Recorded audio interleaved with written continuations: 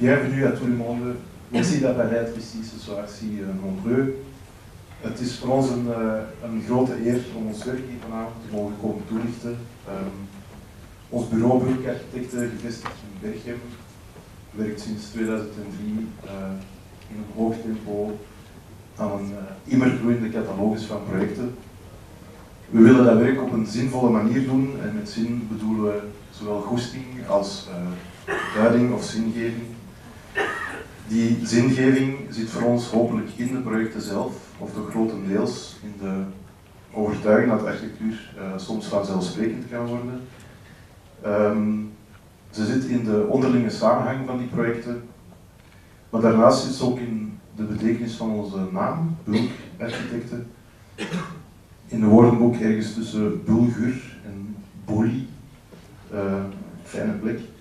Uh, we geloven heel hard dat uh, overdaad niet per se schaadt. Um, en we hechten dan ook heel erg aan het adagium van Darwin, uh, quantity breeds quality. Die kwantiteit van projecten um, hebben we vanavond gesorteerd in een zestal thema's, die allemaal um, inwisselbaar zouden kunnen zijn, maar telkens ook verwijzen naar het, het ideebulk deze slide uh, toont eigenlijk alle nieuwe gebouwen die we tot op heden hebben afgewerkt. Daar zitten niet alle kleine verbouwingen in die we hebben gedaan in het begin onze carrière. Uh, en we dachten het vanavond fijn te vinden om jullie voornamelijk gebouwen te tonen die we nog willen bouwen. Um, sommige daarvan zullen we misschien ooit bouwen, sommige zullen we misschien nooit bouwen. Uh, voilà. Het eerste thema dat we wouden toelichten en ons heel erg interesseert is volledig. Uh, het zegt iets over massa, over lucht, het zegt iets over inhoud, wat ook bulk zou zijn, en verpakking.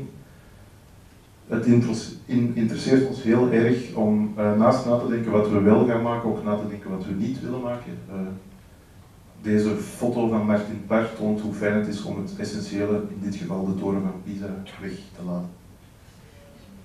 Um, het eerste project dat ik wil tonen is een wedstrijd die we hebben gewonnen voor AG Vespa. Het project is momenteel in aanbesteding en bevindt zich in de stationswijk in Antwerpen. Um, de stationswijk is zeg maar het enige echte stukje metropool uh, van Antwerpen. Uh, waar de stad verbonden is met de wereld door de TGV, door een jodenkwartier, door de dierentuin, door een stukje gecontesteerd Brussel-Noord uh, in de vorm van de Kivit-ontwikkeling. En die plek zou kunnen gelezen worden als een soort aaneenschakeling van leegtes. Um, het idee van de genereuze leegte is niet enkel van ons of niet alleen van ons. Uh, maar het idee na te denken over bouwen in de stad als omgekeerde architectuur is iets dat ons zeer sterk interesseert. Um, op het moment dat je de stad leest als een soort keten van leegtes, ontstaan er hele nieuwe inzichten.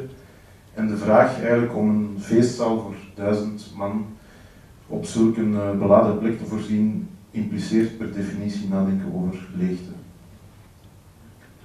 Um, het project is gesitueerd in de oude spoorwegberm, die eigenlijk door uh, Louis de la Sanserie is gebouwd. Um, een prachtig bouwwerk, zeg maar, van burgerlijke bouwkunst, uh, waarbij de centerbogen uh, aanvankelijk grond bevatten, maar eigenlijk onder invloed van de HST-lijn zijn uitgehold.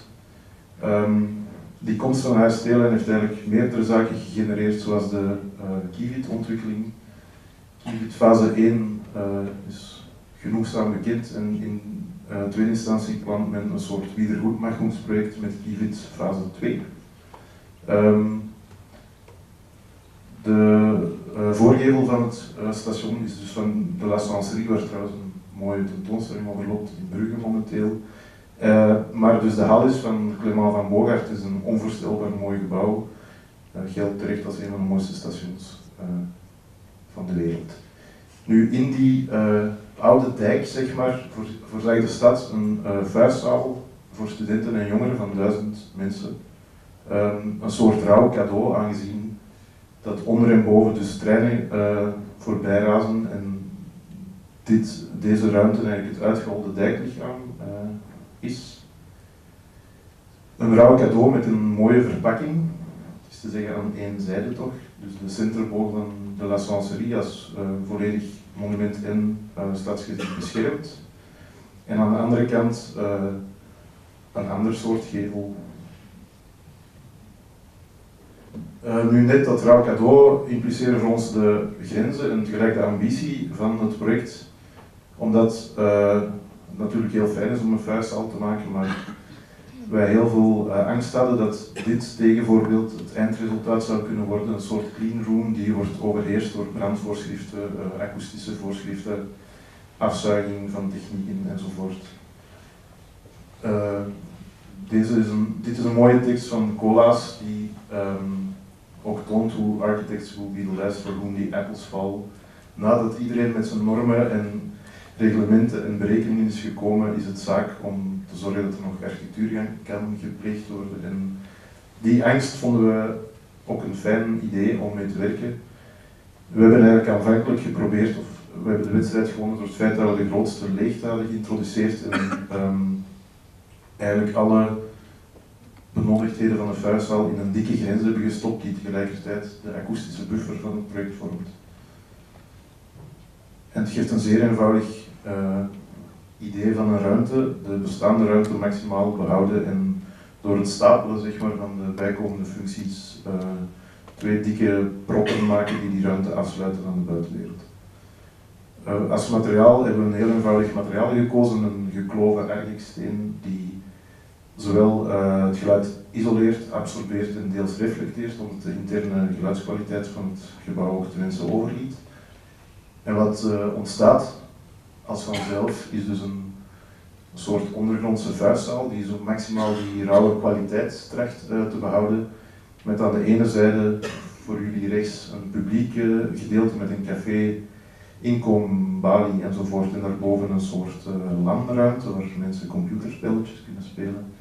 En aan de achterzijde een uh, minder publiek deel met backstage, toog, berging enzovoort. Dat is een quasi die open doelkans gewoon binnenknallen. Um, een van de nuances die we hebben uh, ingebracht is uh, de publieke prop zeg maar, lichtjes te verschuiven ten opzichte van de ingang omdat dat beter uitkwam met de ritmering van de balken, waardoor die publieke uh, prop als enige gezicht zeg maar, van het project toonbaar wordt in de opening die moet nog gemaakt worden. En tussen de balken zitten eigenlijk de secundaire functies, links uh, die landruimte en rechts de backstage en techniek. Uh, de grote vraag voor ons was om eigenlijk na te denken, uh, buiten vol en leeg, over hoe dat gebouw eruit ziet. Want eigenlijk is dat ook een soort FOP-gebouw, bestaat dat gebouw aan zich niet. En was de vraag hoe je um, dit, prachtig, dit prachtig tektonisch spel, waarin een gebouw toont hoe het gemaakt is, hoe het zijn water afvoert, hoe het dwarskrachten en spatkrachten opneemt, combineert met de andere zijde, waar hetzelfde wordt getoond hoe het gebouw zich draagt, hoe er water wordt afgevoerd, hoe het dwarskracht en spatkracht opneemt. En een relatief eenvoudige manier is de spagaat um, om een klassieke geleding met ordinaire materialen te doen. En we hebben ervoor gekozen om uh, die betonsteen van binnen op buiten door te trekken, omdat die hufterproof is door een gekloven versie ervan te gebruiken. En eigenlijk een uh, sokkellichaam en bekroning te maken met de bestaande betonbalk deze schema's tonen hoe dat, dat zou kunnen met een verticaal metselwerk en dan een klaustra waar alle technieken achter verstopt zitten en dan de bestaande betonbalken, die trouwens fantastisch zijn, 5 meter hoog om de 3 meter. Dat levert dit beeld op aan de publieke zijde en dit beeld aan de privaat of bergingkant. En dit is zeg maar het oog van het project dat even komt piepen in die doorgang uh, van de centerboog.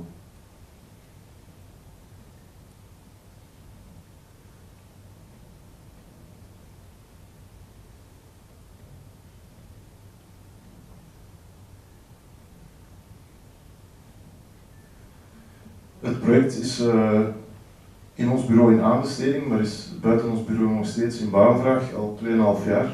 Um, omdat de dienst Monumentenzorg op een eerder advies is teruggekomen en nog steeds twijfelt of er wel een doorgang mag worden gemaakt. Dit is onze voorkeur, uh, conform het gebouw, één centerboog, open en een maximale uh, doorgang maken. Dit is de variant die we hadden bedacht op vraag van Monumentenzorg. Dus alles een beetje schattiger en kleiner. En we hadden dit ook nog voorgesteld.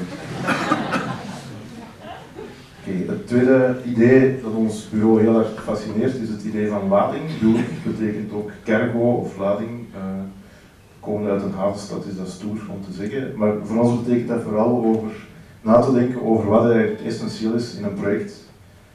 Wij geloven heel hard dat er nooit 100% nog kan gehaald worden, althans nog niet door ons, misschien door Hertzog in de bureau, door ons. En dat is ook geen ambitie om die te halen, omdat we heel hard uh, gefascineerd zijn door het idee van schaarste ook. Um, lading en betekenis wil eigenlijk zeggen dat je met een minimaal uh, idee iets essentieel kan veranderen. En dit project van Jan de Koning in Gent, Pelouse, uh, zet eigenlijk in op één onnozel materiaal, gras, dat door zijn toepassing de betekenis of de lading van de straat compleet omdraait.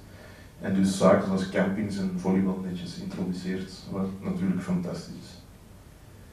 Um, met een beperkte offerteaanvraag sleepten we deze opdracht binnen. Um, tien bureaus mochten zich presenteren en wij haalden het in Grimbergen op een heel fijne plek. Langs een oude rivierbedding liggen eigenlijk zeg maar, een aantal buitenkamers aan elkaar geschakeld, uh, waarbij de luchthaven van Grimbergen met de fantastische hangars van Hardy de grootste is. Waarom dus uh, in het midden van de foto ons project en rechts die hangars. En daar stond op een gekke plek een witte villa, rijp voor de sloop. Een beetje in het niets tussen een soort hondentrainersclub en een uh, skate ramp en dan die grote leegte van de uh, luchthaven. Wat mooi was om te zien is dat elk van die kleine gebouwtjes of grotere gebouwtjes, utilitaire gebouwtjes, haar eigen buitenruimte ook uh, had. Dus de skaters hadden asfalt en een ramp, de honden hadden een weide. Um, en dus de luchthaven had deze fantastische hangars en startbanen. Dit was de Witte Villa, uh, zoals ze heette. Uh, de gemeente vroeg om te onderzoeken of die kon behouden worden, dat bleek niet te zijn. Uh, en dus mochten we een nieuw volume maken, even groot als de bestaande villa. Um, onze optie was ook om die op dezelfde plek te houden, om een aantal redenen. Omdat je op die manier eigenlijk de, de ruimtereeks die ontstaat naast die rivierbedding maximaliseert en ook uh, het terrein zo min mogelijk hypothekeert voor verdere ontwikkeling. Daarnaast vonden we het fijn om na te denken uh, hoe bijvoorbeeld een parking ook volleybalveld of basketpleintje of zo zou kunnen worden. in die grote leegte had het moeilijk om iets te verzinnen, omdat je graag grenzen hebt als ontwerper, of wij toch. Dus hebben we eerst een grens gemaakt, een soort kader, uh, geïnspireerd op de uh, courtyard houses van Hudson. Een project waarin Hudson eigenlijk de randen definieert en de invulling vrijlaat aan de gebruiker. Dan zijn we gaan kijken wat we allemaal nodig hadden. En een tweede referentie uh, die we heel graag gebruiken is de Otaniemi Chapel. is een fantastisch project waarbij je een kapel betreedt om, uh, omdat je gelooft. En de essentie van heel die operatie ligt eigenlijk buiten de ruimte. Want als je goed kijkt zie je helemaal rechts op de maquette een kruis staan. En een kruis is net hetgeen dat je ziet op het einde van je wandeling buiten het gebouw. Dus een fantastisch, fantastisch project.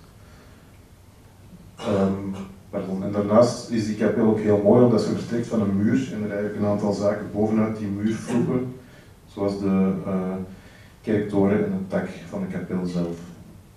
Dus dachten wij dat met een soort uh, jeugdcultuur mopje ook te kunnen doen. Um, en hebben we geopteerd om eigenlijk boven de muur van, van de omwalling zeg maar, uh, twee zaken toonbaar te maken. Dat is een groen dak boven de repetitieruimtes om uh, extra volume en dus akoestische demping te voorzien. En een soort kap um, boven de polyvalente ruimte, omdat die hoger moet zijn. Dat geeft een super eenvoudig plan. Um, het project is bescheiden qua budget en dus qua oppervlakte, 325 vierkante meter, dat is een grote villa. Uh, de witte villa misschien. Um, en dit, zijn eigenlijk, dit is eigenlijk de planopbouw. Links onder de repetitieruimte is een beetje half in de kelder, zoals dat hoort als je moet uh, muziek spelen. Dan een inkomzone met uh, sanitair, uh, twee vergaderzaaltjes op de vliegtuigen rechts. En dan in blauw een polyvalente ruimte die koppelbaar is.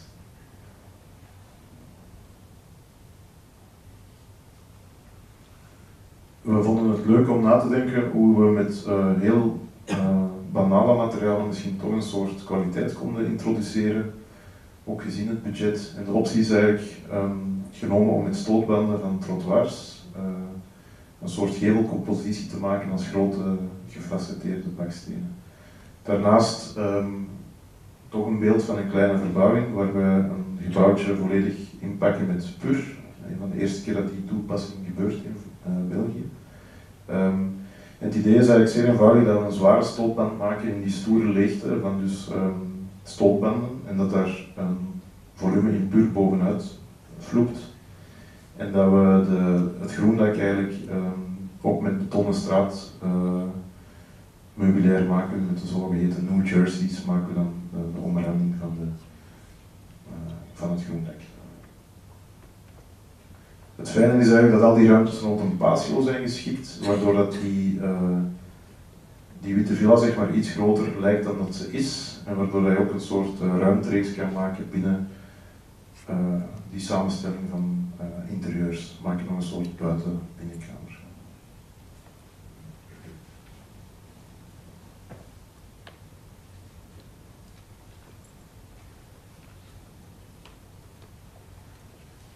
Um, een derde betekenis van bulk is omvang. Is, uh, in het Engels is bulky omvangrijk. Uh, dat zegt iets over Nurksgebouwen. Wij uh, denken graag na over traagheid, over schaal, over impact en over publiek. Dit is een fantastisch beeld waarbij die hoopstenen als een gebouw zou kunnen beschouwen. Misschien rechtsonder een man met een hoed en een dikke buik ontdekt. Misschien is dat de architect. En uh, die laat de rest gewoon over zijn gebouw kruipen. Uh, Nurkzijd zegt ook iets over uw visie op comfort. Het is onze overtuiging dat architectuur nooit alles kan oplossen. Integendeel dat het meestal uh, andere zaken zijn die architectuur moet oplossen. Um, dit is een open oproep die we hebben gewonnen in Locristi. Uh, de gemeente Locristi is een droomgemeente. Um, omdat ze als enige gemeente, of als een van de enige gemeenten in België een APA heeft, een algemeen plan van aanleg, wat impliceert dat de gemeente zelf uh, haar woonuitbreidingsgebieden kan aansnijden. Wat impliceert dat iedereen in de buurt van Gent die bouwgrond zoekt in Locristi welkom is. Wat impliceert dat eigenlijk de bevolkingspyramide van Locristi een demografische natte droom is, met dus in het midden schattige twee verdieners met twee schattige kindjes. En je ziet dus uh, onderin de bevolkingsaanwas van Locristi. Gemeente Locristi heeft ook een ongelooflijk knappe burgemeester. Uh, uh, de gemeente bestaat eigenlijk uit Locristi en drie gehuchten. En ergens in die ruit beschikt ze over een oude naaifabriek, de Site uit te horen. En, um, het is op die site dat de gemeente momenteel deels haar technische dienst uh, herbergt en deels in die uh, oude fabriek mosselsoepés geeft, uh, papa's voetballen en dergelijke. Maar dat gebouw is natuurlijk helemaal niet geschikt voor die activiteiten. Dus de dreigende druk, of de stijgende druk, pardon, van al die ja, jonge mensen, zeg maar jonge actieve middenklassers, die noopten natuurlijk de gemeente om een zeer grote leemte in te vullen, namelijk een grote vuisthal, een, een, zeer professionele sporthal, een repetitieruimte voor benches uh, en een cafetaria. Dit is de site, uh, ligt eigenlijk op de steenweg tussen Lokeren en Gent in een soort uh, ontdubbeling daarvan. En is dus effectief een soort oude 19e-eeuwse uh, naaifabriek met bijhorende conciërgewoning. Um, wij opteerden in de oproep om de bestaande technische dienst in eerste instantie te behouden, om het schisma op die plek uh, duidelijk te maken, om zowel in gebouwen als in buitenaanleg een nuance te zoeken tussen dat huwelijk tussen die twee uh, diensten, om na te denken over parking, zonering, de randen, want het gebouw ligt dus eigenlijk in een soort woonomgeving hè, tussen de serres. Behoud van de technische dienst was voor ons evident, omdat de technische dienst is uh, een hangar met TL-lampen onverwarmd waar auto's in staan, dus waarom zouden we die ergens anders opnieuw maken? Ehm, het programma van dat gebouw hebben we eigenlijk onderzocht in welke mate we daar konden bundelen of stapelen, zeg maar, met de beperking natuurlijk van een sporthal boven een vuisthal of vice versa, dat dat niet evident is. Um, onze optie om het rechterdeel van de site, dus de bestaande uh, gebouwen van de technische dienst te behouden, die um, hadden ook een aantal voordelen, uh, met name op het idee van uh, ecologisch bouwen, maar daar kom ik straks op terug, bleek dat een sterke optie. Um, het linkerdeel hebben we dus geopteerd voor een gecomprimeerde nieuwbouw in de mate van mogelijke zaken onder en op elkaar uh, geschoven. De korte organigram van het gebouw is eigenlijk rechts in rood de technische dienst, achterin kleedruimtes en repetitieruimtes voor groepjes, deels ondergronds. Verzonken uh, sporthal twee meter onder de grond om eigenlijk binnen het gabariet uh, van de gemeente te blijven. En voorin de inkom in roze met daarboven de um, cafetaria en dan in groen de grote vuifzaal, annex feestzaal, theaterzaal. En in blauw eigenlijk de bijhorigheden daarvoor keuken, mossel, souper, ruimte en backstage. Die zitten is heel grappig omdat je daarnaast uh, uh, dikke villa's ook eigenlijk altijd in tweede lijn uh, te zien krijgt, want Locristi is naast een bloeiende gemeente ook een bloemengemeente. dit is eigenlijk de snede van het gebouw en het was onze optie vanaf de eerste moment om eigenlijk tijdens de open oproep al samen te werken met een bureau Synergie die eigenlijk gespecialiseerd zijn in passief huisconstructies. Um, en het gebouw heeft eigenlijk, zit eigenlijk op een aantal fronten in op uh, duurzaam bouwen. Het feit dat het gebouw al twee meter de grond inbrengt, heeft enorme voordelen. Uh, wij strijden ervoor en zullen ervoor blijven strijden om de eerste sporthal met daglichttoetreding in Vlaanderen te realiseren. Um, er is een optie om zuidgerichte daken met fotovoltaïsche cellen te voorzien. De, het water van het dak wordt eigenlijk gerecupereerd, deels voor het sanitair, maar het grootste deel eigenlijk voor de technische dienst, omdat die uh, alle bloemenperken in de gemeente continu van water moeten uh, voorzien. Vandaar dus een van de voordelen van die, dat gedwongen huwelijk.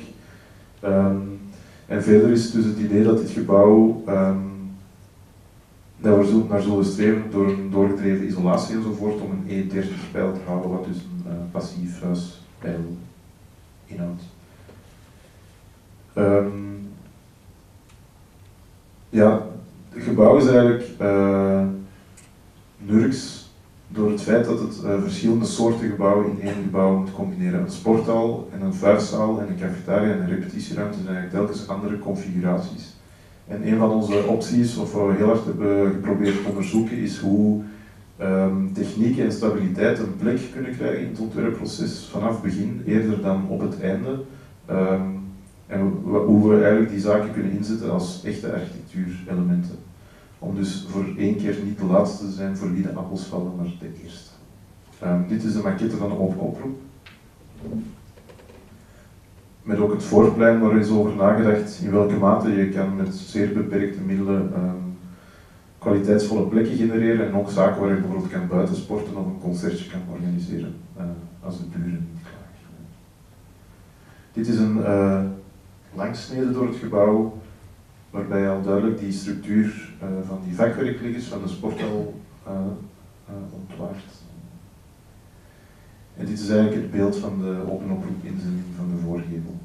Met rechts de bestaande technische dienst, met het idee dat we de landschapsaanleg zouden doen met de recuperatiematerialen van de afbraak en links het nieuwe gedeelte. Heel korte plannen, dus een 2 meter verzonken sporthal met achterin uh, bergingen en repetitieruimte voor groepjes. Uh,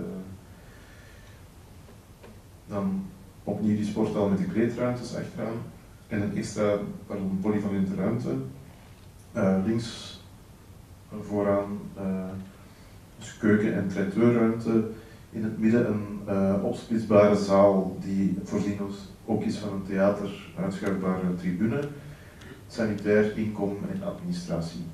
Uh, daarboven nogmaals geleedruimtes voor scheidsrechters, etc. En uh, een soort doorsteek voor de technieken, want die uh, ruimte is best groot, 25 op 25 is dat vierkant. En de sporthal heeft bijvoorbeeld twee volledige basketvelden. En dan rechts de cafetaria boven de inkom als een soort sociale controlefunctie. Een aantal snedes. En langs. De gevels volgen eigenlijk de logica van dat Nurkse gebouw, van gewoon te zijn wat je moet zijn op de juiste plek. Een fijne optie in het leven ook trouwens. Um, op vraag van de schepen hebben we de technische dienst mee uh, bekleed in de door ons voorgestelde uh, met kalkverf geschilderde planken, omdat we eigenlijk een gezellig gebouw ook wouden maken. Uh, dat zijn nurksheid ontleent eigenlijk aan um, de juiste manier, op, op de juiste manier een beetje stom in de weg te komen staan, maar dat toch nog een beetje schattig te willen doen. Um, er zijn een aantal verwijzingen naar de omgeving die tegelijk uh, goedkoop zouden kunnen genoemd, maar, maar die ook een functie hebben, zoals de shittaken zou je kunnen zeggen dat die bij de serres horen, en dat is ook zo, maar dat is ook niet, want serres in een klas. Uh, bijvoorbeeld achterin heeft elke um, kleedkamer twee raampjes gekregen. Um, vooraan toont het gebouw zich uh, een beetje chiquer, en worden bijvoorbeeld de daglichtkoepels van de vuistzaal die weggedraaid zijn van de buren gecombineerd met technische uitstulpingen met de grote uitstulping van de cafetaria. Uh, en hebben we voorgesteld om de bronzen plaat bij opening, die altijd bij opening er moet hangen, om die iets groter te maken, zodanig dat je een beetje een chique entree krijgt.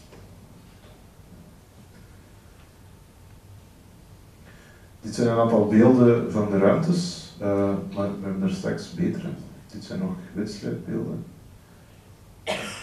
Um, wat ook heel hard hebben getracht te doen, is de verschillende functies telkens een klein beetje met elkaar te laten interfereren, zodanig dat er uh, uitwisseling kan ontstaan. Uh, we hebben ook nagedacht over de buitenaanleg, waar de intentie was, zoals in de schilderij van Morandi, om um, eerder op het gebied van nuance een onderzoek te voeren dan wel op explicietheid. En um, met relatief eenvoudige materialen, waaronder een aantal afbraakmaterialen, ook na te denken over de doorwaadbaarheid van de ondergrond, want die site meet uh, 8000 vierkante meter. Als je die gaat verharden, dan moet je al dat water bufferen, dus onze intentie is om dat niet te doen en het water uh, gewoon de grond in te laten gaan.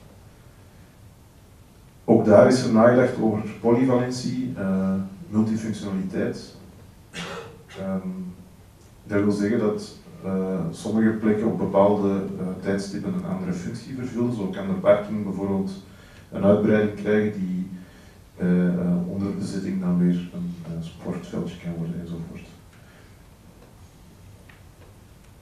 En dit is eigenlijk het beeld waarmee we een consensus hebben bereikt, want we hebben dit project, we hebben een jaar lang na de winst van deze wedstrijd, een jaar lang aan dit project gewerkt. heel de gemeente met zijn adviesraden op één lijn gekregen, en dat zijn er best veel. Die gaan over jeugd tot mosselen, tot cultuur, ook, ook mosselen en ook cultuur overigens. Um, en dat was eigenlijk een heel fijn proces. En we hebben dat proces ook zelf een beetje aangestuurd door telkens een grote maquette te maken um, op bureau en die maquette aan te passen na elke bespreking. Het jammer van de zaak is dat um, een gemeente zichzelf niet mag vergunnen en dat na een procedure van open oproep en vooradviezen bij ruimtelijke ordening Gent dit project vandaag aan een zijde draadje hangt omdat uh, ruimtelijke ordening Gent plotseling vindt dat de locatie niet geschikt is voor dergelijke activiteit. Um, dit is een maquette, dus een fantastische maquette op een onderste, die is enorm. Uh, dit is een beeld van de sporthal met de kwaliteit uh, van het uh, daglicht, waar we een onderzoek wensen te voeren naar daglicht versus verblinding, want dat is een probleem. Dit is een beeld van de multifunctionele feestzaal, vuistzaal, theaterzaal, die um, een grote balk in het midden uh, zorgt ervoor dat de overspanningen van 25 naar uh, eh, 15 meter worden gereduceerd en dat daar ook technieken in kunnen gehuisvest worden. het voorste gedeelte van de zaal heeft daglicht om er ook een soort expositieruimte van te maken. Het achterste gedeelte is dus inzetbaar als theater. Um, dit is een beeld van de polyvalente ruimte. We hebben voor de structuur ook samengewerkt, zoals heel vaak, met Utiel uit Brussel. En met hun ook gekeken hoe we um, zowel akoestische kwaliteit als dragende delen op kunnen inzetten als een soort architectuur, ook als een soort sfeer. in dit geval is dit omgekeerde uh, puntjesdak wordt dat samengesteld uit uh, vrij eenvoudige uh, multiplexpanelen die samen ook een best grote overspanning kunnen realiseren. Dit is de inkom zeer laag gecomprimeerd om dan in de feestruimte te komen en daarboven de cafetaria die anderhalf keer hoog is.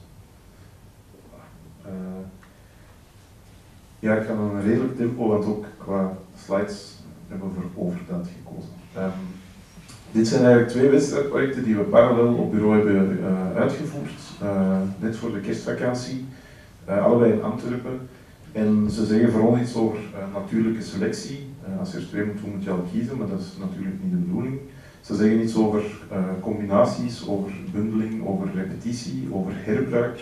Um, ze zeggen vooral iets over economie van de middelen. Hoe zetten we op de juiste plek de juiste zaken in? En ons favoriet woord is schaarste, maar in dit geval ging het ook voor een stuk over overmaat. En al die zaken gaan natuurlijk over de stad. Um, een ontwerpproces is iets anders dan een auto maken.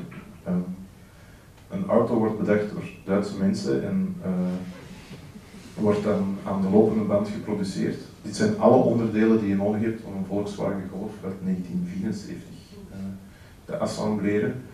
Um, dat is een proces in een soort beschutte werkplaatssituatie of uh, fabriek of labo. Architectuur is dat nooit. Dus altijd met mensen die je nog niet kent, op plekken die je nog niet kent of niet meer wist dat je ze kende en tegen een rot tempo. Um, een fantastische opgave, een besloten wedstrijd voor AG Vespa, voor een politiekantoor, een metro-ingang en vijf appartementen in Borgerhout. Um, Borgerhout was in de middeleeuwen een gehucht en is eigenlijk in uh, de 19e eeuw ex extreem geëxpandeerd uh, door de komst van meer dan 60.000 gastarbeiders uit de Kempen die de Brialmont-omwalling uh, moesten schuppen. Um, die gemeente is aantrekkelijk geweest door de lage accijnzen op alcohol en kende dus op tien jaar tijd een bevolkingsexpansie van 5000 mensen naar 75.000 mensen, wat voor de 19e eeuw een grote expansie is. En is dus blijvend eigenlijk zich ontwikkelen. Um, door die snelle ad hoc ontwikkeling is Borgerhout ook in Antwerpen een van de meest problematische stedenbouwkundige uh, tekeningen, maar tegelijk ook extreem fascinerend. Um, in de jaren 30 was die Turnhoutbaan waar het over gaat, wat de grootste invalsweg is van de ring uh, naar het historisch centrum maar ook de meest dense, was het een, uh, een soort uh, halfvolkse, maar toch mooie boulevard, die naast um, Belle Époque en de 19e woningen ook mooie jaren 30 gebouwen kende en waarop echt nog een soort pret op straat gebeurde die het midden hield tussen um, volks- en grootstedelijk. Links Café Gambrinus, die een terras gewoon op de boulevard zette maar waar ook een hoop ambities op zijn losgelaten, grote en kleine. Rechts het gebouw van Vooruitzicht, what's in the name, en links uh, de afbraak voor dus de premetro, want daar gaat het ook ten dele om, um, die in de jaren 80 is uh, stilgelegd. Um, drie foto's van onze site die we gewoon van het net konden plukken. Uh, er is een levendige blogcultuur in Borgerhout. Um, een metro-ingang is echt een heel fijne opdracht.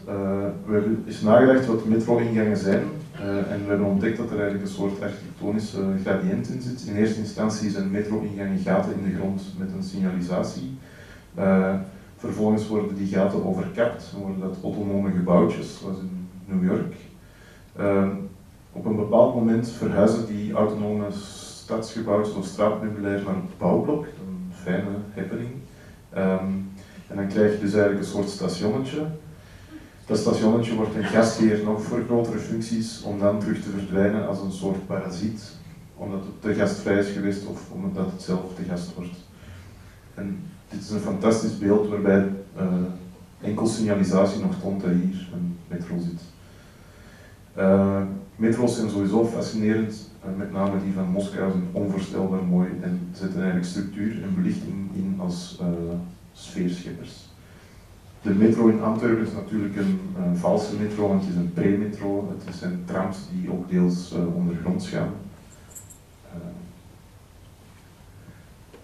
voilà, de site, ik weet niet of het duidelijk is, is uh, aan het begin van de Turnhoutse baan, dus daar waar een, slapend station van de pre-metro ligt, want er liggen dus negen stations te slapend sinds de jaren 80 die niet in gebruik zijn.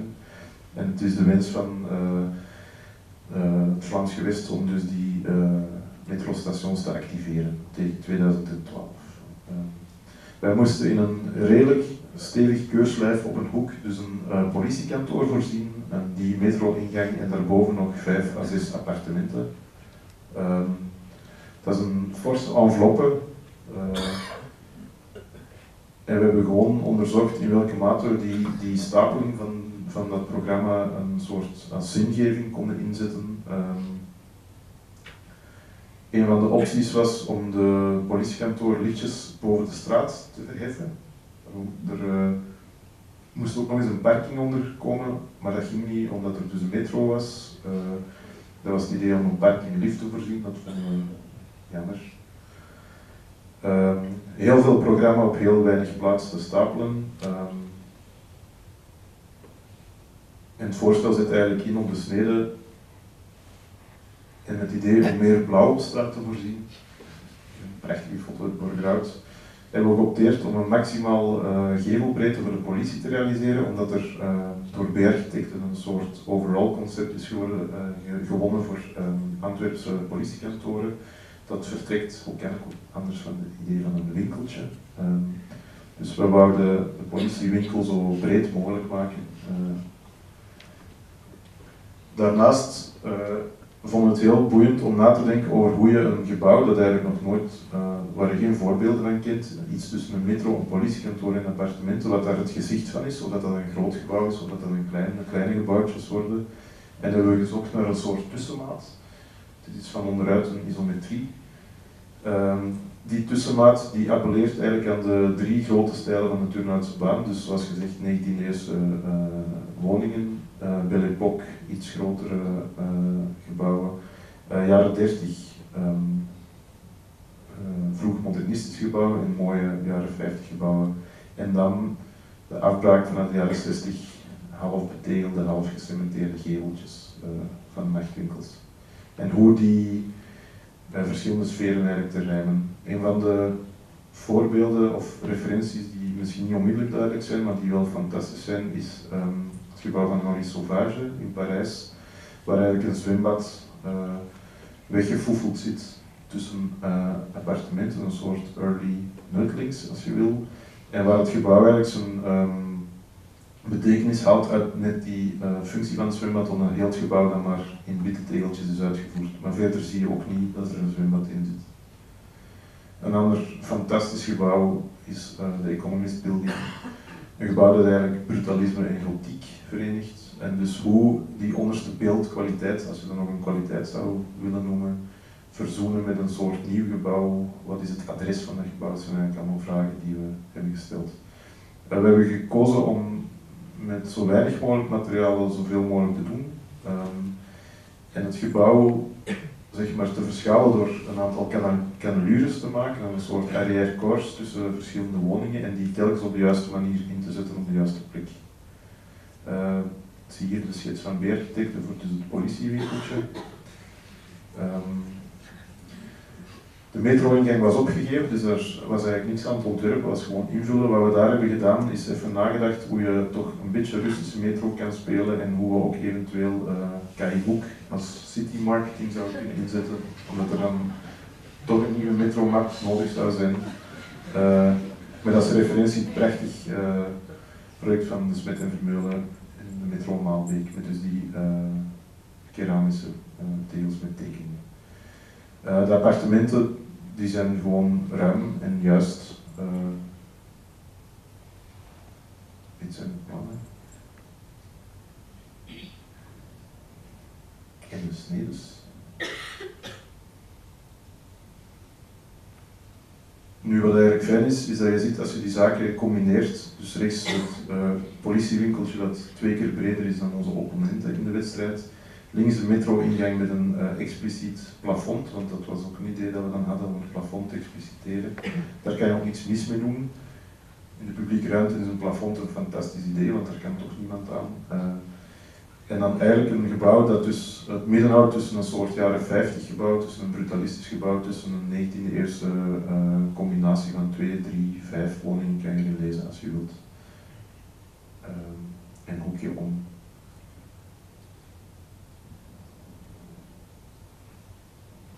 En eigenlijk in de achtergevels uh, geven we die formele cannelures op en verpaupert het gebouw een beetje, krijgt het een soort achtergevelkwaliteit.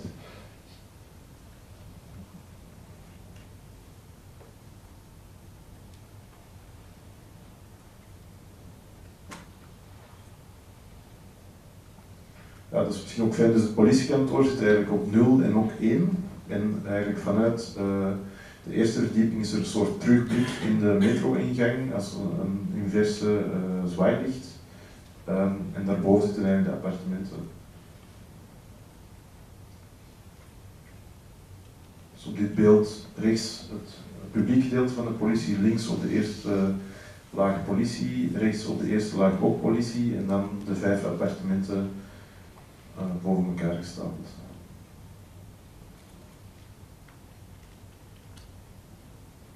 Tegelijkertijd hebben we gewerkt aan een brandweerkazerne, dus politie en brandweer, jongensdroompjes. Um, uh,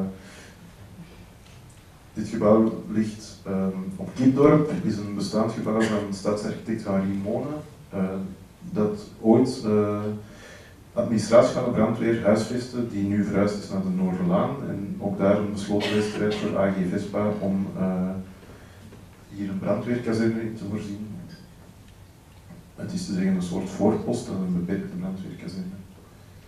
Um, die plek is, uh, is boeiend omdat hij de grens van Antwerpen, van de, van de eerste omwalling van Antwerpen, uh, toont. De Sint-Jacobskerk is ooit gebouwd met de ambitie om de grootste kerk van Europa te worden. Um, de huidige toren zoals hij nu staat is een van de twee uh, die zou moeten gebouwd worden en is een derde van de lengte die initieel voorzien was. Um, het woord business is een beetje gek op een middeleeuwse stad, uh, maar destijds kon je zeggen dat er toch een soort uh, grote ambitie in die plek zat. En je voelt dat ook een beetje aan de maat van de zaken die daar gebeuren. In tegenstelling tot andere bouwblokken kan je in het midden van die luchtfoto een soort ruimtereeks ontdekken. Um, die vertrekt eigenlijk vanaf de binnenstad en die toch veel grotere korrels uh, toont dan de omliggende bebouwing. En je merkt ook heel hard aan daar waar vroeger dus de uh, Rooseveltbrug stond, dat er een soort leegte in die stad zit die gek is en die dus perfect te verklaren is omwille van het feit dat daar vroeger het staatspoort stond. De brandweer heeft een, dus een hoofdpost en heeft dan een aantal zeg maar bij kantoor, waar ik zeg maar bijposten, um, die de spreiding over de stad moeten garanderen. deze tekening toont opnieuw die soort schaalsprongen die in zo'n stad ontstaan als er aan geknutseld wordt. en toont ook een beetje de overmaat van het gebouw ten opzichte van zijn omgeving. Onze eerste keuze die we hebben gemaakt is om het gebouw dat ook nog eens een, grote achterbouw had, uh, op de tekening tweede van rechts, om in eerste instantie het binnengebied te ontpitten, um, om, om de figuren ten dele terug te herstellen en dus de bestaande overmaat uh, af te breken. Dat impliceert een compacter gebouw, dat is ook uh, niet alleen um, lief voor de stad, dat is ook lief voor ecologie en ook voor economie. Uh, en dat geeft ook een soort vrijheid om na te denken over die leegte die dan ontstaat. Er zit ook een volledige parking onder heel het gebouw die moest behouden. Uh, de vraag was om twee brandweerwagens, een ziekenwagen te stallen en een twaalftal mensen die daar permanent uh, logeren in ploegen te huisvesten.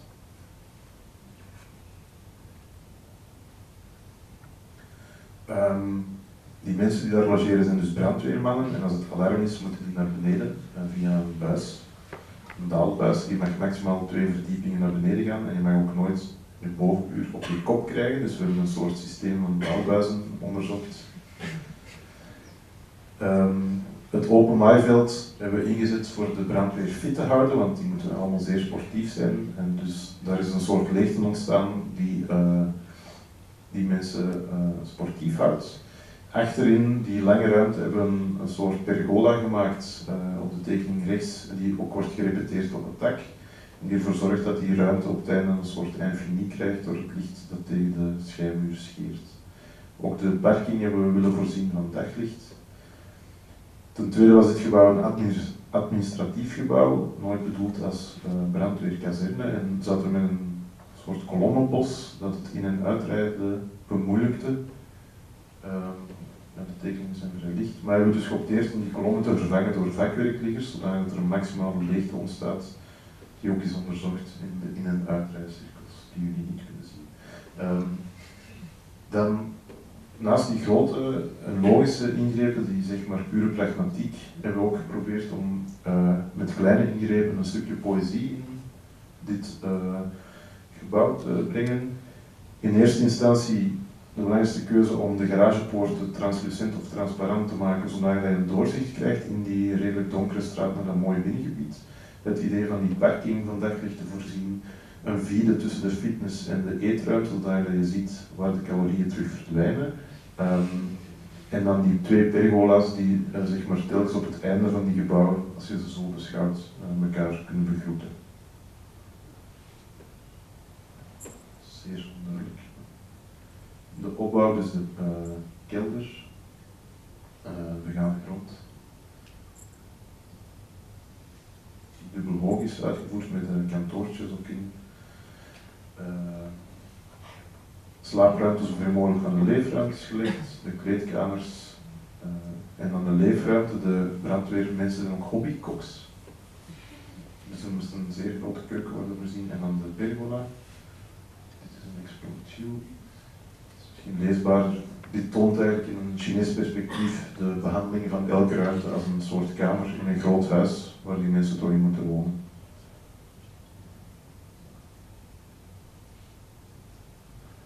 Dus de stelplaats van de wagens met de nieuwe vakwerkliggers die hebben voorgesteld. De pergola op het dak.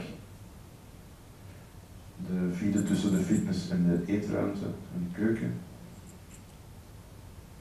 En dan een aantal kleinere ruimtes.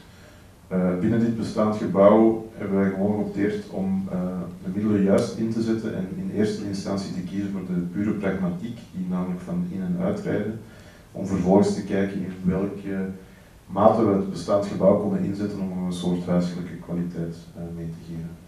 Die toont die, dat binnengebied en de parking.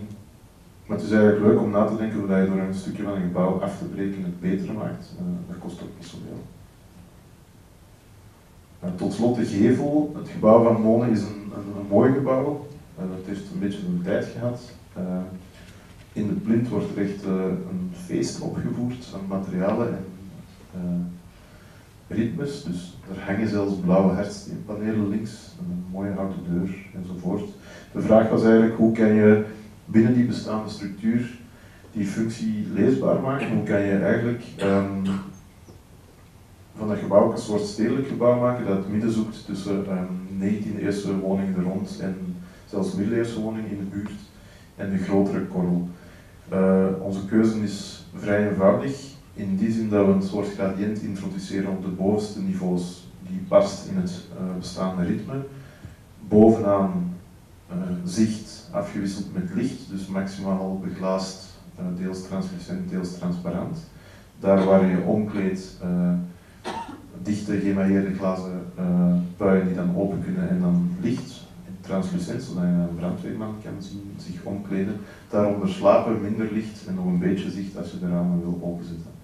De buren zitten daar vlak over, zijn kantoren.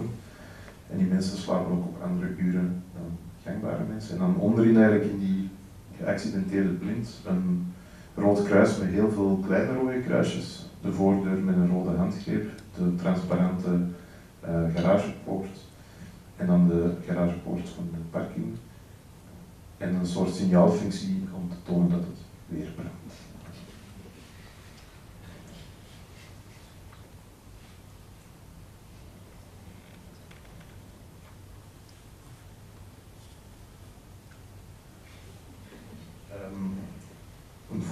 Thema is uh, serious fun, dat is een term van Charles and Ray Eames. We hebben eronder gezet over het plezier en de ernst uh, van productie. Uh, Charles en Ray Eames zijn helden. Um, ze hebben prachtig werk gemaakt dat iedereen genoegzaam bekend is. Wat ons enorm fascineert is hoe dat dezelfde technologie aan het begin van de Tweede Wereldoorlog omwille van de schaarste en echte acute gebrekken wordt ingezet, hoe dat die technologie aan het einde van die oorlog voor heel andere doeleinden kan dienen, wat een definitie is een serious van.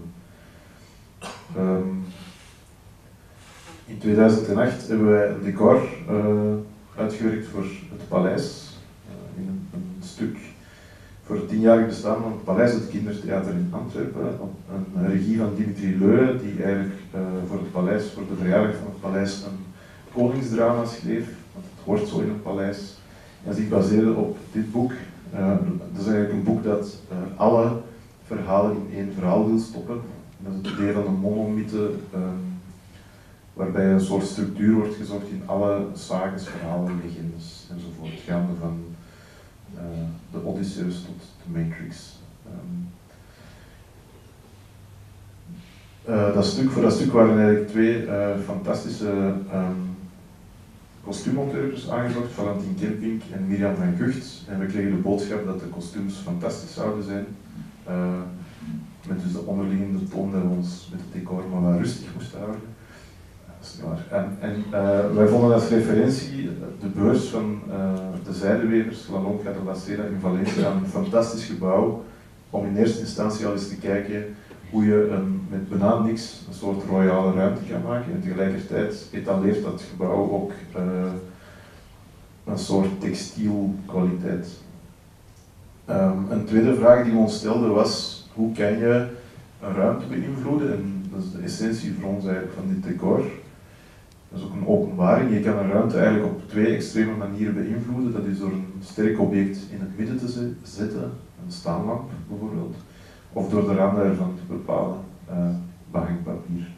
En alle architectonische ingrepen zou je eigenlijk kunnen uh, omschrijven als een balans tussen staanlamp en behangpapier. Uh, in een film als 2001 bijvoorbeeld zijn die twee extremen van ruimtes ook heel duidelijk aan het begin en het einde uh, te merken. Dus de zwarte steen versus het eclectisch of het uh, interieur op het einde. Het stuk had eigenlijk vier bedrijven. In het eerste bedrijf was een introductie, uh, gingen er een aantal deuren open, kwamen de personages uh, toneel op. Het tweede bedrijf ontstond er van alles en moest het decor zeer multifunctioneel zijn een soort spiegelpaleis. In het derde bedrijf, voor alle duidelijkheid, het is een kinderstoneel, uh, zat er een draak, een heks, een gevangenis, een kasteel. Um, dus alles wat een sprookje nodig heeft, een kabouter zat er ook in. En in het vierde bedrijf werd het stuk eigenlijk een soort uh, kolder, een soort deurencomedie met uh, bodes die uit kasten vielen en uh, dikke en een dunne humor. Gezien een groot deel van het budget al naar de kostuums was gesluist en we dus iets te weinig kregen. En gezien de vraag van Dimitri Leu om na te denken over een ecologisch decor, um, was onze eerste idee dat we dan maar zaken moesten ontwerpen die tegelijkertijd meerdere functies konden verzinnen. En het is eigenlijk fascinerend bij zo'n uh, scenografieontwerp, hoe je eigenlijk geen klassiek programma hebt en dus moet vertrekken van een soort um, associaties en dat je binnen die associaties uh, plots echt waarheden ontdekt. Zo is, um, was een van onze eerste ideeën om een soort Jacobsladder te maken. We vonden uh, het idee van het Janushoofd leuk en toen ontdekten we hoe de tempel van Janus eruit zag. Tempel van Janus is een driehoekig gebouw waarin de deuren openstaan ten tijde van oorlog en enkele tijden van vrede de deuren dicht zijn. Aangezien het stuk ongeveer in elke scène een deur bevat, dat was een fijne connectie. Um, ja, het klooster van La Tourette van Le Corbusier heeft een van de mooiste deuren ter wereld. De deur die open gaat, waardoor er een kruis ontstaat. En in die deur zit ook nog eens een deur. Um, vandaar deze schets. Hoe kunnen we een decor ontwerpen als deuren in deuren in deuren. zo doe je dat in staal. Ehm, het paleis heeft een fantastische atelier. Maar daarover straks meer. Uh, een tweede ding dat natuurlijk van belang is, hoe kan je in een koningsdrama ook een soort kasteel uh, simuleren of een soort royaal bastion simuleren, want dat is theater simulatie. En uh, een volledig kasteel is misschien niet mogelijk, maar een donjon is misschien wel mogelijk. Hoe kan je het idee van ridders en beslagen deuren meenemen? Of beslag in het algemeen. En dan krijg je deze fantastische kostuums te zien, um, die gemaakt zijn uit, uh, voegstripbanden die onder siliconen uh, voegdichtingen worden gemaakt en waar uh, Miriam en Valentin zich maanden mee geamuseerd om daar verschillende weefpatronen in te ontdekken. Met dan de afspraak dat alle bijkomstigheden in het stuk, zoals een bed, dat we die zouden cancelen en dat een bed zou vervangen worden door die prachtige uh, worst onder Sien Eggers haar hoofd. Um, wat maakte dat het decor eigenlijk tot een soort essentie kon herleiden en dat we ook konden nadenken wat de toon zou moeten zijn van ons decor in tegenstelling tot deze prachtige uh, geweven kunststoftoestand.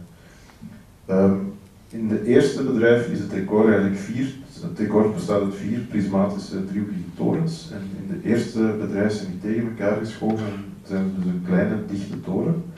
In het tweede bedrijf plooien ze open en worden ze in extremis een soort spiegelpaleis of een paravent, uh, omdat daar zeer veel eisen werden gesteld. In het derde bedrijf plooit de toren rondom zichzelf binnenste buiten en wordt het een grote toren waarin een soort leegte ontstaat. Um, opnieuw dat idee van het object en de ramp, waardoor dat er een gevangenis in kan zitten, een draak uit kan komen, kabouters uit kunnen tuimelen enzovoort. En in het vierde bedrijf plooit dit systeem nog eens open en wordt het een soort troonzaal uh, waar de deurencomedie uh, van start. We hebben dat helemaal uitgewerkt. Uh, het is een stuk met een parcours geworden, dat wil zeggen dat de acteurs elke deur moesten kennen. Ze hebben daar rot aan geërgerd. Dat is niet onze schuld. Um, dit zijn de vier standen, zeg maar. Het eerste bedrijf, tweede bedrijf, derde bedrijf en vierde bedrijf. Um, gezien we weinig centen kregen en uh, de stalen constructie eigenlijk bijna ons volledig budget opsoepeerde, hebben we dan maar gratis materiaal gaan zoeken. Dit zijn offsetplaten, dat zijn, is een afvalproduct van de offsetdrukker uh, waar je kan kopen aan 1 euro per kilogram. Als je daarmee begint te spelen, zoals uh, met de kostuums, dan ontstaat er ook van alle uh, lol. Um, en deze mock-up toont eigenlijk hoe dat we met die platen iets maken dat het middenhoudt tussen een glas in loodraam, tussen een beslag van een ridder, tussen een soort chique, chique ruit. En dat toegepast op deze structuur levert eigenlijk iets heel moois op. Dit is een eerste proefopstelling in het van het paleis. En dit is het eerste bedrijf waarin één voor één gasten worden geïntroduceerd.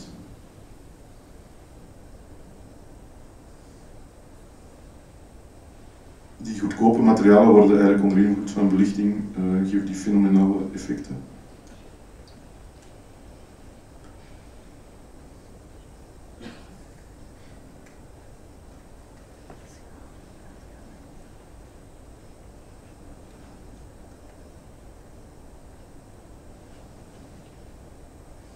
En dit is de laatste scène van het laatste bedrijf. Als eigenlijk alle deuren opengaan alles maar een sprookje Oké, het laatste project is het project waarvoor wij zijn uitgenodigd. Uh, de masterplan voor de technische dienst in Blankenbergen. Um, dat gaat opnieuw over massa, over veel, dat jullie al door dat het bij ons over veel gaat. Uh, over de sonderdelen, over gewoon, over standaard, over bastaard en over improvisatie. Dit is een prachtig referentiebeeld om meer dan één reden. Dit is de eerste cradle-to-cradle toepassing. Dit is een flesje uh, van Heineken, uh, uitgevonden samen met John Habraken, de drager en de invulling. Dat kan hergebruikt worden als een glazen bouwsteen door middel van de kleine profilering die erop zit. Dus in 1963, er zijn in een aantal ex-Nederlandse kolonies prachtige gebouwen meegemaakt. De tweede reden waarom dat dit mooi is, omdat het idee dat pintjes drinken tot architectuur leidt op fans. Maar het mooie is dat er eigenlijk samengesteld is uit iets zeer gewoon en dat de som der delen plots iets uh, oplevert. Uh, de stad Blankenberg is zo um, de meest marginale badstad van Vlaanderen. Um, het is best een grote stad en ze heeft uh, een grappig patroon. Uh, linksonder is eigenlijk alles gesitueerd wat je niet met een badstad associeert. De technische dienst, begraafplaats, containerpark, grote hondenwei. In blauw het gemeentehuis. Dus die cluster van technische diensten, daar gaat het om. En die ligt letterlijk aan het einde van de gemeente. Je herkent uh, het uh, patroon van de begraafplaats misschien. En in zwart kan je onze projecten dan zien op Google Earth. Daar waar de gemeente eigenlijk stopt en de polders beginnen, daar werden wij gevraagd om na te denken over de technische dienst. Het is te zeggen, we hebben onszelf opgedrongen, want er was een beperkte offerteaanvraag. En uh, aangezien we pas begonnen waren als bureautje, uh, hadden we geen werk en hadden we dan maar gratis een masterplan uitgetekend. Um, dit was het terrein van de loods, uh, of waar loods moest komen voor de technische dienst. Het is natuurlijk een, een fijne technische dienst, omdat je ook reddingsboten hebben en bulldozers voor in het zand. Um, en die technische dienst barstte wat uit haar voegen, want die stond momenteel geparkeerd op het binnenerf waar ze ook moesten werken. Ook Blankenberg is een bloemengemeente blijkbaar en er is ook heel veel bloemenlaagjes. Dit was masterplan dat wij eigenlijk ingediend hebben bij de offerte en we hebben ons um, daarvoor geassocieerd met Wim en Sebastian Mortelmans, een bureau die eigenlijk vrij veel kennis hadden van industriebouw en we vonden het fijn om hun referenties misschien met onze poëzie te koppelen. Um, wat interessant is, en dat is eigenlijk tijdens het maken van deze lezing dat ik dat pas heb beseft, want dit project uh, is gestart in 2003, is dat ook dit over het object versus de omranding gaat. Um, dat werkerf is eigenlijk een ruimte die je definieert door de randen ervan aan te pakken. Uh, de plek rondom die loods zal onherroepelijk worden beïnvloed door dat grote object van de loods, uh, 60 op 30 meter. Dit was een indicatief voorstel uh, voor de loods. Onze ambitie was hoog, want we wouden ook het containerpark erbij betrekken en is uh, fatsoenlijk organiseren, maar dat is ons niet. Um, het definitieve masterplan, waar we dan uiteindelijk wel de opdracht voor hebben gekregen, dankzij een fantastische ambtenaar die in Blankenberge zeer veel heeft gerealiseerd op haar eentje, Sigrid Pinois. Uh, is dit het masterplan van de, van de technische dienst. Uh, rechts op het voormalig terrein een grote loods voor opslag van dus voertuigen, boten en stukgoed. links een grote zeg maar dijk waarin eigenlijk de, begraafplaats wordt gescheiden van de technische dienst, omdat dat toch twee activiteiten zijn die iets anders zijn dan aard, uh, waarin eigenlijk de buitenbestratingsmaterialen een plek hadden kunnen krijgen. Dan een doorsteek en dan in een aantal fases ons voorstel om uh, dat werkerf een beetje te organiseren. Het idee van buitenkamers, plekken rondom de gebouwen of in de gebouwen of onder de gebouwen die uh, de grote ruimte leesbaar maken, de mogelijkheid tot uitbreiding meebedacht en ontdekt dat eigenlijk beide polen zeg maar, op exact 75 meter van die doorsteek liggen, waardoor dat je ook een soort betekenis krijgt in die technische dienst tussen mensen die in een bureau werken of ploegbaas zijn en mensen die bloemenwagens. Um, ook nagedacht over de randen, hoe we die met relatief eenvoudige um, middelen konden inzetten, want natuurlijk is er voor zo'n project nooit echt een architecturale ambitie. Uh, je bent daar bijna een, soort luisterende aanvankelijk maar dus ons idee was bijvoorbeeld om de jonge aanplant die technische dienst ook hebben, dus wij planten zelf een aantal boompjes aan om die park te noemen en daar dan een bank in te zetten en dan te kunnen picknicken. Uh, ook um, na te denken over hoe je, hoe je met super eenvoudige bestrating toch een soort uh, nuance in het maaiveld kon leggen.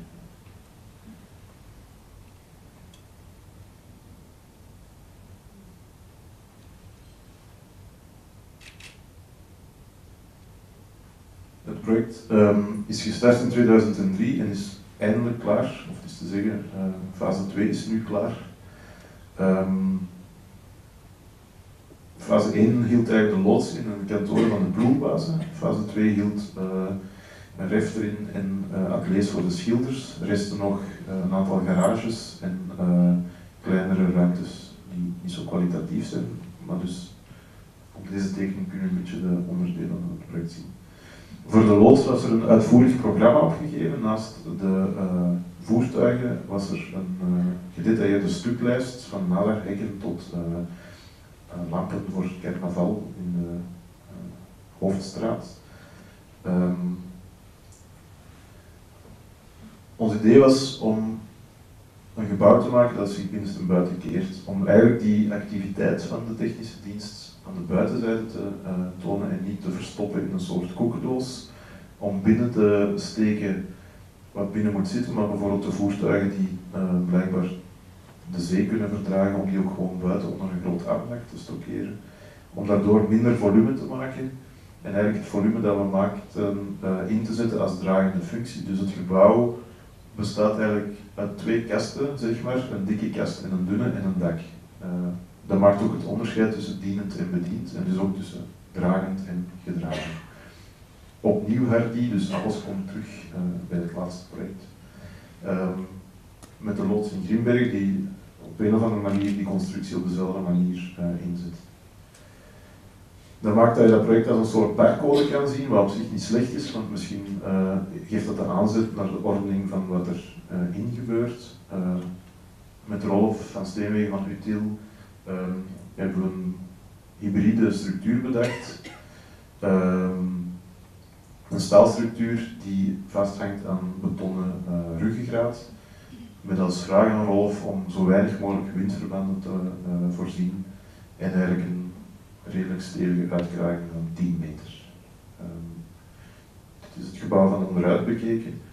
Waarom dat we dit gebouw um, de som der delen noemen lijkt mij duidelijk. Um, aangezien het gebouw aan de zee, uh, in zeeklimaat wordt gerealiseerd, zijn er zeer hoge eisen aan de galvanisatie en is het gebouw volledig op voorhand uitgetekend. Elk gat, elke knoop in de, de staalstructuur is uh, gedetailleerd. Normaal gezien gebeurt dat door um, mensen die industriehallen bouwen en die kregen plots te maken met vervelende architectjes. Um, dat is dus een extreem gevecht geweest om zeg maar, elke knoop uh, min of meer naar onze zin te krijgen, maar het is onder andere dankzij de hulp van Rolf ook gelukt. Bovenaan drie U's die, die stijve ruggengraat in beton vormen, um, in grijs het effectieve gebouw, in lichter uh, de overkraging, waar al die voertuigen parkeren. En dan bovenin het vervolg van die twee kasten, een dunne en een dikke kast. Nu is pure repetitie ook nooit interessant en hebben we dus uh, elke anomalie gretig aangegrepen zeg maar, om uh, het ritme af en toe eens een flinke tik te geven.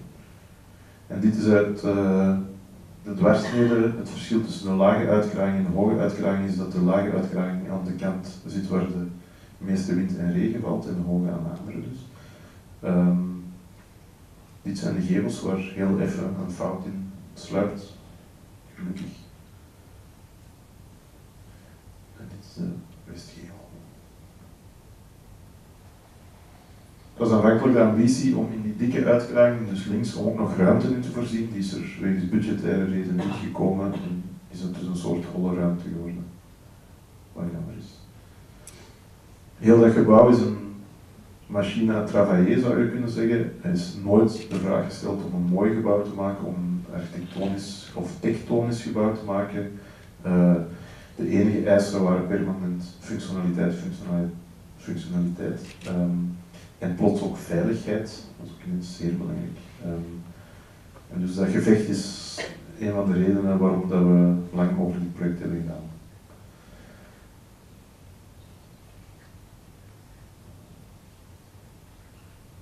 de werf. Het fantastische is dat dit het grootste gebouw is dat we tot nu toe hebben gerealiseerd en dat het het allersnelste recht stond. Namelijk, om de twee weken kon je nieuwe dingen zien. Nu, net door die voorbereiding uh, van die industriebouwcultuur is, was het voor ons fascinerend om te zien hoe je uh, je ontwerpexpertise plots uh, dankbaar kan inzetten voor zaken die dan oneindig keer worden gerepeteerd. Waardoor dat de kwaliteit van dat gebouw en ook dankzij de zeer goede aannemers, moet ik eerlijk zeggen, vonden wij dan de kwaliteit van dit gebouw in verhouding tot zijn kostprijs zeer geslaagd. Maar dat is eigenlijk of. Um, de beton is groen geschilderd, um, omdat groen contrasteert met oranje. En in onze naïviteit alle boten van de ridders oranje waren, maar dat bleek eigenlijk niet te kloppen. Uh, maar tegelijk omdat we dit gebouw als een soort verlenging van het landschap zien, ook de polybeton is groen. Het is een beetje een, een, lullige metafoor, maar als je een kleur moet kiezen is groen misschien niet slecht. Uh, maar met name ook om het gebouw een beetje uh, een soort abstractie te geven en als een soort immaterieel gebouw te behandelen, is de keuze geweest om zeg maar, alle materialen in tonen van dezelfde kleur te voorzien. En dat is natuurlijk heel gek uh, om te doen. Anderzijds werkt het ook heel hard omdat je die sombere delen dan uh, beter etaleert. De standaard bardageplaat is omgedraaid, omdat we die mooier zo vonden en omdat ze daarmee ook uh, refereert aan werken van jaren 50 gelden zoals Prouvé. Uh, het geeft het gebouw een soort continue moiré uh, slag mee, dus die mensen hadden dat nog nooit gedaan en vonden ons ook gestoord dat we dat. Maar het kost ook niks meer, dus vonden we dat oké. De plafonds zijn eigenlijk bekleed met schermen die uit de agrarische industrie komen en de poorten zijn in gegalvaniseerd staal en bekleed met polycarbonaat, een commerciële editie van Herzog nummer Laban en Steeler. Omdat het toch al Herzog nummer leek.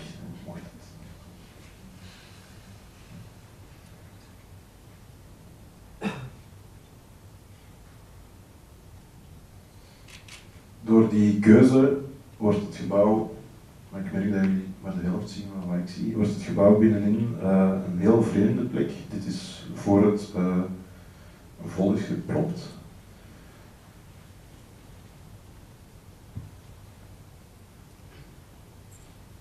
Ja, er is iets mis met de verhouding.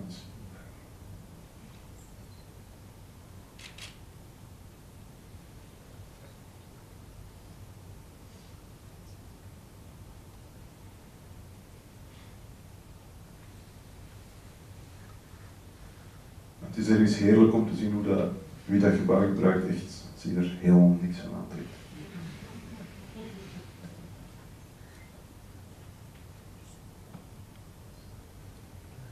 Um, het andere deel is dus het werkerf,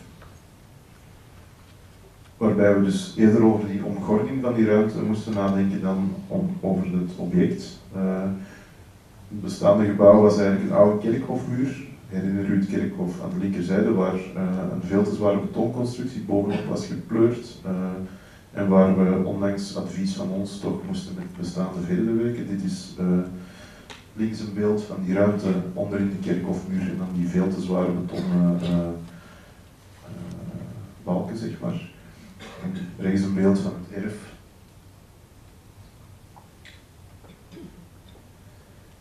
bovenin, in aansluiting bij de gebouw van de directie zit, zitten een aantal kantoortjes van de proefbaas, dat is een straatzijde. Uh, en dan heb je die lange balk, daarin zit uh, archief, uh, sanitair en kleedruimtes, een refter, je ziet de tafeltjes staan en dan onderin een groot atelier voor de schilders en opslaggevaarlijke producten.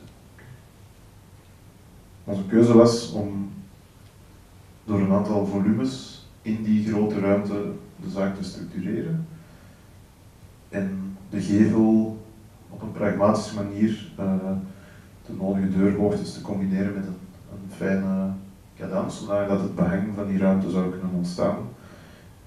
En ook te tonen in het dak waar een atelier zit en waar niet. Dit zijn uh, waarbij dus de bestaande structuur wordt uitgebreid met die daklichten. En dit is eigenlijk een beeld van de ruimte um, die aan de rechterzijde het sanitair toont met de technieken erop. Aangezien de technische dienst was, hebben we die technieken ook laten zien. Ook zij vinden dat stoer. Uh, en dan heb je eigenlijk een deel refter en dan heb je eigenlijk die vier daklichten die uh, de ateliers van bijkomend licht voorzien.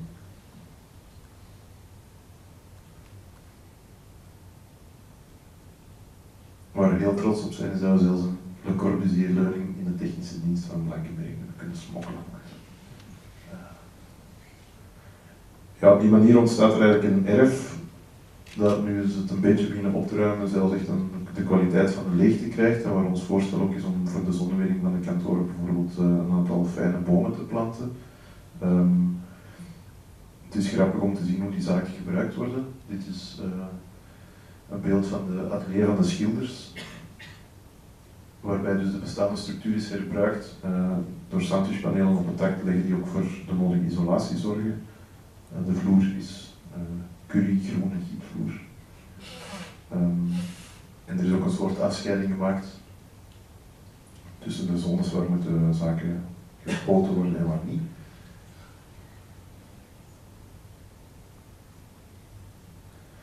voor de rechter was er een probleem omdat in fase 1 uh, we tegels hadden gebruikt waar ons uh, voorstel om die in fase 2 door te leggen plots stuitte op verzet van de aannemer aangezien de tegels op waren. Dan hebben we met de fabrikant gebeld welke tegels er dan nog wel waren. Um, en hebben we dus een keukenhanddoek ontwerp gemaakt voor de vloer van de refter.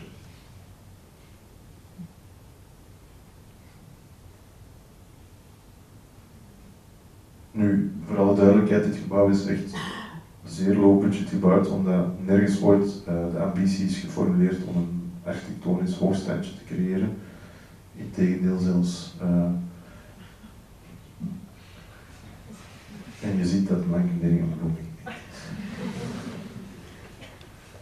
um, ook de, onze vraag om een uh, percentage van het bouwbudget voor kunst in te zetten is niet gehonoreerd. Maar we hebben dan um, Stanley Deder overtuigd die vaak van ons foto's neemt om een foto te geven die de aannemer dan op een, een folie heeft moeten drukken, want dat hebben we stiekem in een lastboek gestopt. En dus dit beeld van Stanley Dederen van een kuststrook in Vietnam waar ontzettend veel werk voor de technische dienst klaar ligt, leek ons een fijne kruisverwijzing. Dit is het laatste beeld. Waren zelf op een dag van uh, poëzie uh, die mij zo weinig kan ontstaan. Um, tot slot, maar niet in het minste, is dat natuurlijk niet alleen mijn werk. Tom en Johan zijn medegenoten van Bulk, maar verder zijn onze medewerkers in onze ogen eerder een club vrienden geworden dan medewerkers en daarvoor is er ook nodig.